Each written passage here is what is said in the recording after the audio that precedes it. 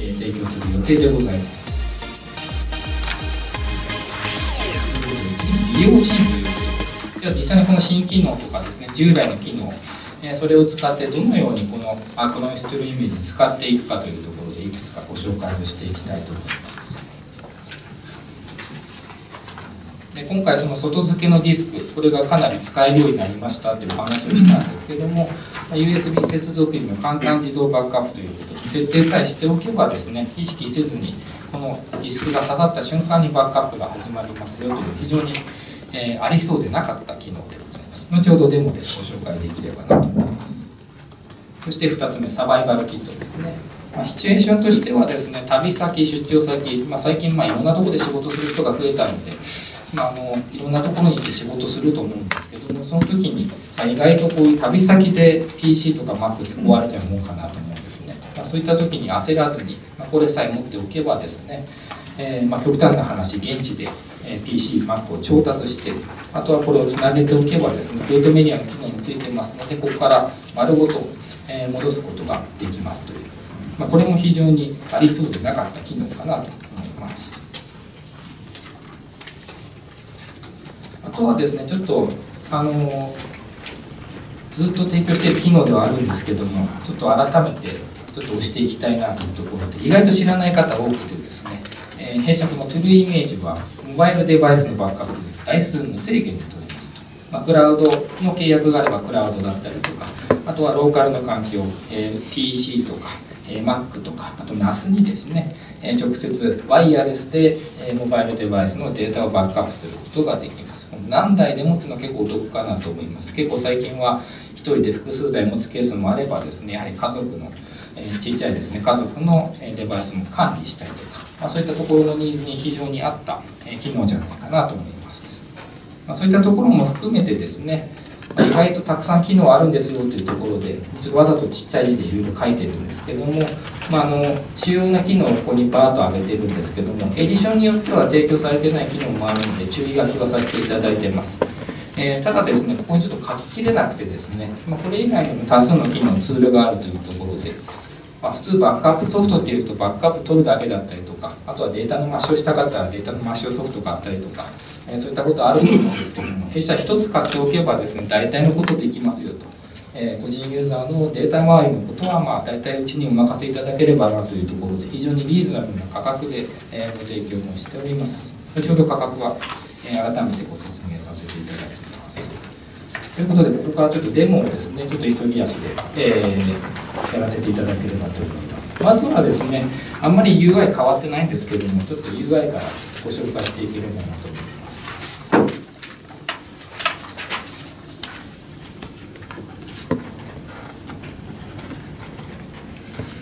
こが通常の画面ですね。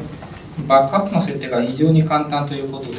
え新規のバックアップ設定を今ちょっとしてみるんですけども、まあ、こんな感じでもうテンプレート化されてますと。バックアップ対象は基本イメージバックアップがデフォルトです、まあ、そこから細かく選んでいくこともできるんですけども基本はこのコンピューター全体ですね。それからバックアップ先、まあ、クラウド付きのエディションであればこんな感じでクラウドがデフォルトで選ばれているので極端な話もうここの今すぐバックアップをですねクリックすればイメージバックアップすぐ開始できるんですね。で例えばここをじゃあ外付けに変えてみようとかナスに変えてみようとかそれもこんな感じでワンクリックでたどっていけるというところで、まあ、誰でも操作できるというところをですね弊社は常に考えながら製品を開発しております。まあ、だんだんその他社製品なんか見ててもですね、まあ、こういう言い方してはいけないんですけどもだんだんだんだんうちにやっぱ似てくるっていうところを考えるとやっぱ使いやすいんだなということで非常にまあ感じているところではございます。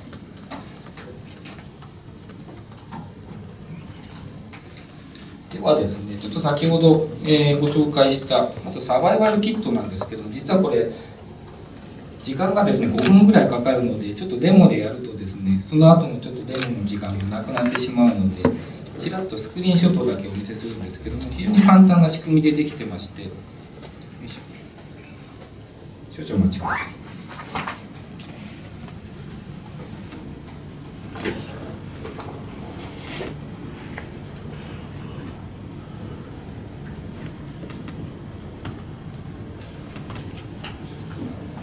一応そのこういう外付けのディスクを挿すとですねサバイバルキット作成しますかというそういったメッセージが出てきて、まあ、その手順に沿って作っていくだけなんですけども今ちょうどここはそのブートメディアとかですね復元に必要なコンポーネントを入れている最中です。でこれが一通り終わっていくとですね最初の初回バックアップフルのバックアップを取りましょうということで促されます。でそのフルのバックアップが終わるとですねこのサバイバルキットがまず出来上がりましたということで完了します。でその後どうやってバックアップ取っていくかはそのスケジュール設定次第なんですけども例えばそこに先ほどご紹介した、えー、USB の接続があった場合外部のデバイスが接続された時に即バックアップを開始するようなそういったスケジュール設定していただくとですね、えこの後、えこれをつなぐだけでですね簡単にバックアップが取れていくという、まあ、そういったところをちょっとお見せできればなと思います。少々お待ちください。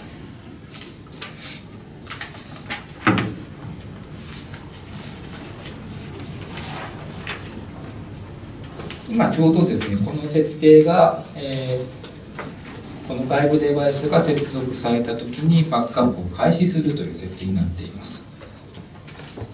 ちなみに次回のバックアップというところのこの下ですね。ちょっと見づらいんですけどもこんな感じで設定が書かれている状態です。でここにですね今からちょっとディスクをつないでいきます。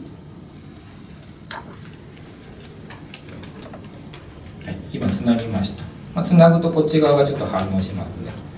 である程度ちょっと反応が終わるとですねここからバックアップがこんな感じで左上ですね。自動で始まります。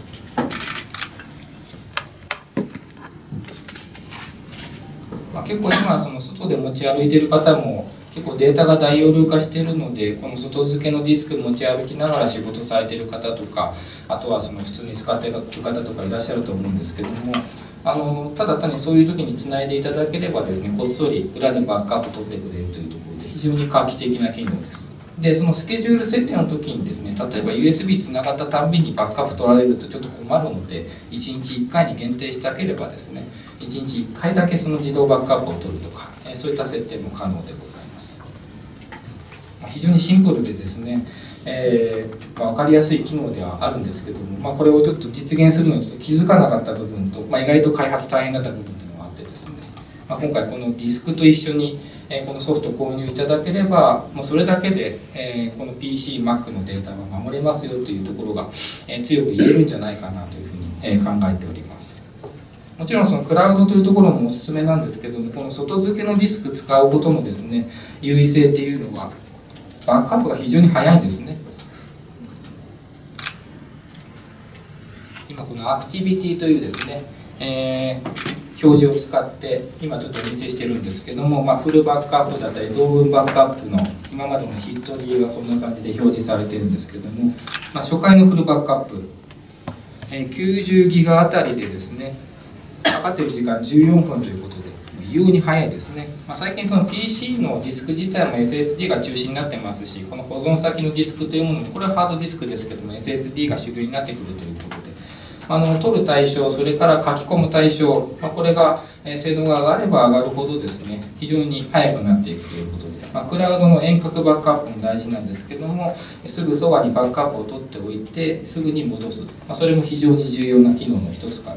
まそれが NAS ではなくてこの外付けであるというところも一つのポイントかなと思います、まあ、過半性があっていつでも持ち歩いていると。毎日、えー、何か自宅に置いていたものがですね、えー、故障だったりとか、えー、災害に遭ってしまってなくなってしまってもですねまずこのポータブルを持っておく、まあ、さらにその向こう側にクラウドにデータを保存しておくということ。で二重三重のデータ保護が実現できる。まあ、実際本当にデータをなくさないというふうに思ったらですねそのくらいのやはり、えー、対応していかないといけないというのが実際のところで、まあ、弊社としてはそういった異なるメディアにとってあげて人のうち一つはクラウドに保存するというですね、えー、そういったバックアップの取り方を推奨し続けております。でですね、次にご紹介したいのがですね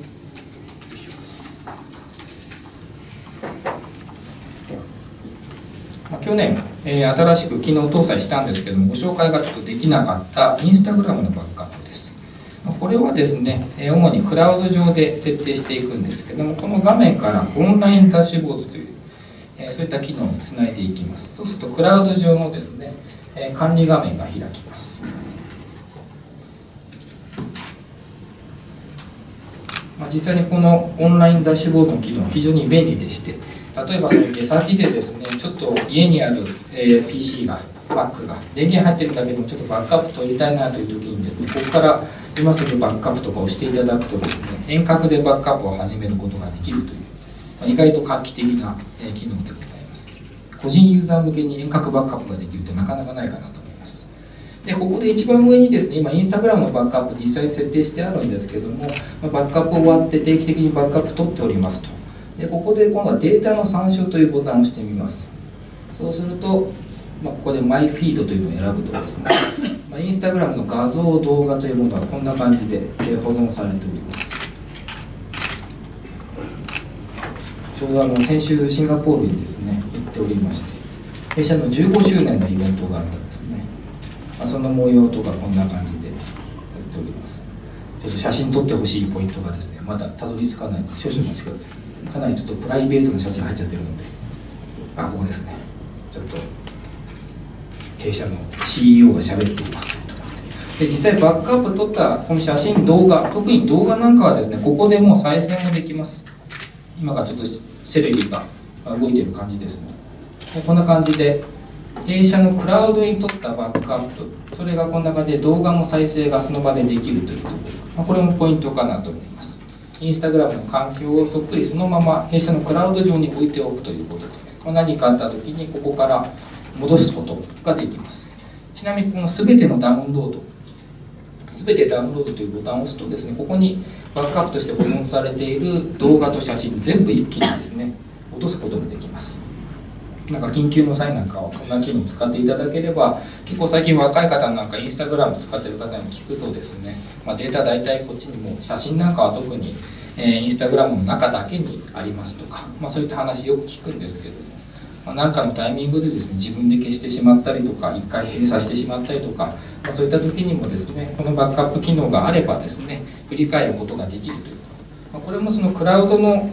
サービス自体はバックアップ必要ないんじゃないかという方すごくいらっしゃると思うんですけどもそこもある意味個人の自由かなと思っていてですね、まあ、使い方というものは考えていけばいくらでもあるとただその方法を提供していないから誰も考えないのかなと思っているので、まあ、弊社はこういったところをですね必要ないと思われているようなところも、機能を提供していてですね、将来的な、ま未来のデータ保護につなげていくというところが一つの開発ポリシーでございます。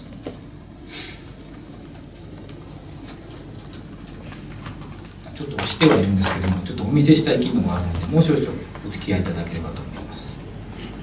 次はですね同じように、えー、このオンラインダッシュボードからですねクラウドにバックアップしているデータを見に行きます。ここからそのモータリーの機能というものをですねちょっとお見せできればと思います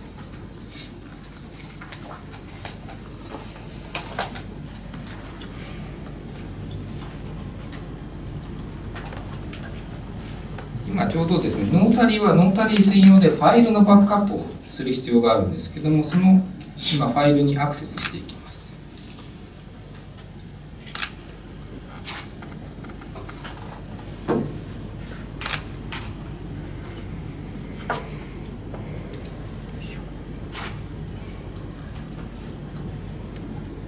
例えばですねこのファイルなんかはですねこのファイルのハッシュの値を、ブロックチェーンにですねしているんですけども証明書を表示というものを見せるとですね押すとここからこのアクロニスノータリーというですねブロックチェーンの技術を使った、えー、仕組みでですねこういった感じで証明書を発行しています、まあ、そこにはそのブロックチェーンにまつわるですねえー、固有のデータをこんな感じで全て記載しております、何かあった時はですね、まあ、その証明書が証明になる。もしくは、えー、これとは別にですねベリファイツールというものをご提供していますので、まあ、例えば今度はソフトウェアを立ち上げていただいてですね。で同じように、えー、ノータリーの設定を見に行くんですけどもでここにですねベリファイツールというものがあってこれちょっと開いてみます。で今度はここにですねちょっと、えー、証明したいファイルをここに入れてくださいと。ドラッグしてくださいという表示があるので。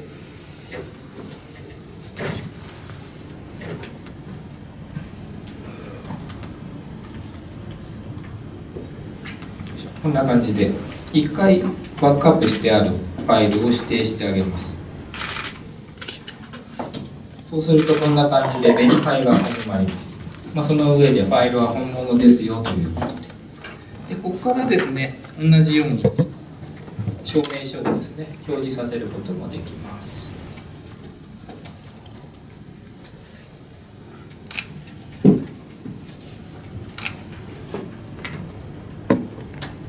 で今度はですね電子署名の機能をちょっとご紹介しますけども署名をリクエストという項目これを今度押していただくとですね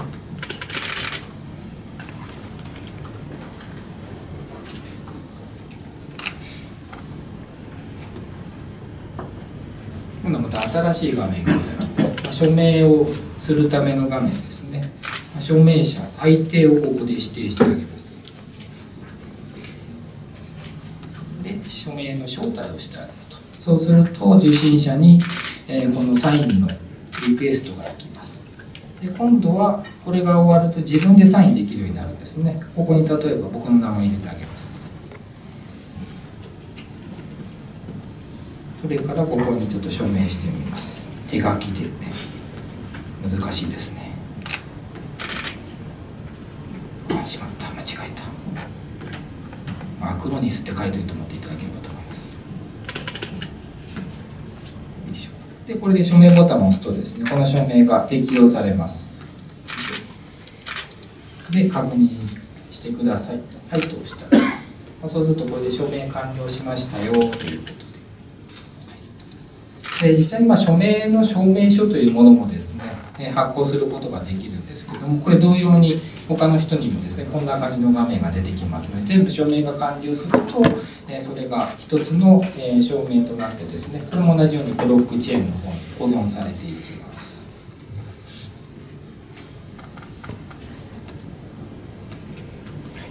ということでちょっとアクティブプロテクションのご紹介したかったんですけどもちょっと最近ですねあの疑似ツール自体がなかなかちょっと動かない事情ができてきてですね、まあ、結構いろいろアンチウイルスとか Windows のディフェンダーとかでその疑似ツールみたいなものもですね動かないような仕様になってしまったので、まあ、どういう動きをするのかというとちょっとチェックいただきたい方はですね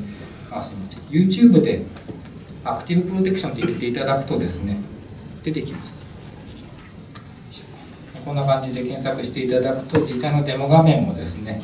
ここで、まあ、英語版になってしまうんですけども見ることできますので、まあ、ぜひちょっとこちらもチェックいただければなというまあ、こんな感じでちょっとデモは終了させていただきましてちょっと残りのご説明を、えー、駆け足でさせていただければと思います、えー、ライセンスと価格というところで少々お待ちください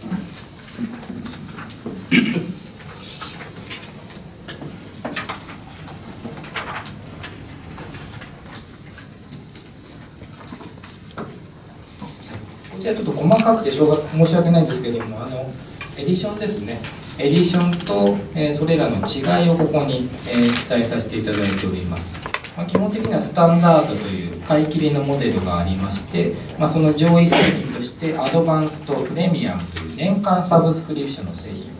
こちらをご提供しております。アドバンスト以上はクラウドの機能がついておりましてインスタグラム、フェイスブックのバックアップもできます。さらにプレミアムの場合は先ほどご紹介したアクロニスノータリーそれから署名機能の A サインこちらもご提供しております、まあ、機能高機能が増えていけばいくほどちょっとお値段が上がっていくというところ、まあ、基本的な機能それから量販店様でですね、えー、販売する、えー、ボックスはですね基本のスタンダードの機能をご提供しております、まあ、こちらもモバイルデバイスの台数は先ほどお伝えしたようにローカルの環境へのバックアップになるんですけども無制限で、えご提供しております。そして、冒頭ですね、えー、親の方から、えご案内がありました、まあ、日本独自のパッケージを今回作りましたということで、まあ、量販店だったりとか EC サイトとか、えー、そういったところでもですね、えー、より、え日本の方々の好みに合ったパッケージで、まあ、見逃さないようにというところで、まあ、うちの場合はですね、えー、全て入ってますよというのをちょっと強調してます。ここら辺ですねまあ、通常このバックアップ引っ越し復元データマッシュって全部分かれてる製品ってあったりするんですけども弊社は全部一つに、えー、ご提供しております。のでここがこのパッケージのですね一番の肝かなというふうに思います。でこちらの場合はアカデミック版もですね1台のコンピューター向けにご提供しております。かなりリーズナブルですね、まあ、学生の方々向けに、まあ、ぜひご購入いただきたいなと。そしてですね、まあ、あのトゥルイメージ、え、あくまでコンシューマー向け個人ユーザー向けの製品なんですけれども実はですね小規模の、え、企業様とかでもかなり利用いただいているのは実情です、まあ、ただやはりここも制限があるというところでえ、1つの製品でですね統合管理できる、え、PC、Mac の台数は5台までと。5台以上のバックアップ、まあ、最近特にですねクライアント関係のバックアップ全社のバックアップ取りたいとか全社の PC のバックアップ取りたいとかそういったご要件も増えてきているんですけども、まあ、そういった、えー、ご要件がある場合はぜひ、えー、弊社の企業向けのアクロニスバックアップ、え、ご紹介いただければと思います、まあ、数千台の環境であってもですねしっかり統合バックアップが取れるというところが、え、ポイントでございます。トゥルーイメージでご提供している機能のほとんどがこのアクロニスバックアップにも搭載されております。もちろんその使いやすさというところもですね、え踏襲しております、まあ、弊社は珍しいんですけどもコンシューマーからえー、企業向けにちょっと成り上がったですね、えー、ベンダーではあるので、まあ、どちらも提供し続けると。新しいものは個人ユーザー向けに提供してそれがこなれたタイミングで企業ユーザー向けにも提供していく、そういった開発方針を持っております。で最後にですね、まあ、販売というところで、えー、弊社、えー、ほぼ間接販売というところでですね、えー、ディストリビューター様、各社様のお世話になっております。え、ソフトバンク C&S 様、ダイヤモ情報システム様、ネットワーク様、えー、3社様からですね、えー、この製品は、えー、販売をいただいております。